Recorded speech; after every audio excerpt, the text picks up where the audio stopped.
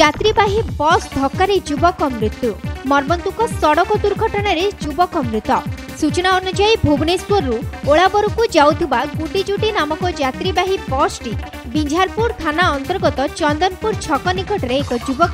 ধক্কা দিয়েছিল ঘটনাস্থଳରେ ହିଁ ଯୁବକର ମୃତ୍ୟୁ ହୋଇଥିଲା ମୃତକର ପରିଚୟ মিপারি না